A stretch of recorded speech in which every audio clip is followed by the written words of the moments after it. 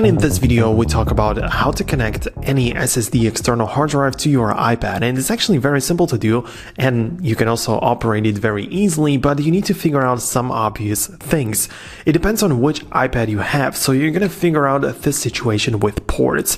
Like, I have the USB C on my Samsung external SSDs, as well as the USB C on my iPad, which means that I need double-sided USB-C to USB-C cable to connect my accessory. So I'm gonna have to use something like this, which is USB-C on both sides. And uh, you can connect it very easily that way. Once you do connect it, however, you're not gonna hear anything like any notification that it the, uh, the, the part that the SSD is connected or anything, you're just gonna be able to find it in the Files app. But I'm gonna get to that in just a second. In the case that you don't have the cable or you don't have the, the stuff appropriate for it, you will probably need to use some sort of adapter.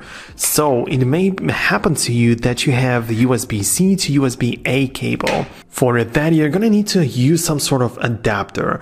I really like this one, which has the USB-C, which I can plug into my iPad, and I can even connect multiple other devices in here. I can plug in my SD card. I can plug in my USB-A ports or uh, SSDs which have these ports, or I can even uh, connect in here the small SSD. So it really depends on which ports your iPad has, because you can even have the iPad with uh, the Lightning, and depends on which ports or how you connect your SSD. So once you figure this stuff out, then it's very easy to, to just plug it in. Anyways, guys, if you're connected already, you can see that I am. Uh, like I said, no pop-up or notification pops up that you're successfully connected or anything.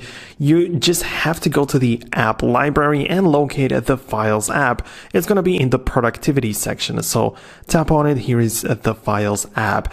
And here are all of the locations. So you can see that I have my iCloud, Drive, uh, here's my iPad, Dropbox, and other stuff. And here is the external SSDs. And you can see that I have like multiple different things, all of my folders, and I'm browsing through the files which are available in here. So I can do whatever I want. And you can easily just move files in between. So for example, on your iPad, you can just click on the file in here and to perhaps click on the share icon, save it to files, and you can navigate to the uh, SSD and save it in here if you want it. So click on save. Now, if I come back and come back to my SSD, here's the file that I moved.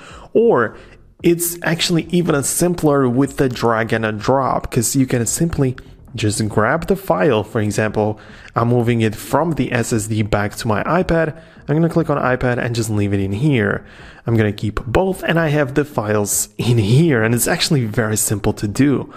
Like, it doesn't matter what you use, you can drag and drop almost anything. So I'm gonna go to my photos and here are some pictures of the iPhones and stuff.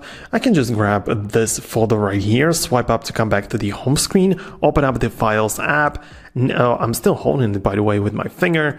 I'm gonna click on my SSDs and I'm just gonna drop it in here. And as you can see, I just added this file from my photos right to the SSD, which is connected to my iPad. So it's very simple to do. You just drag and drop. You don't even have to like click on copy and paste or anything.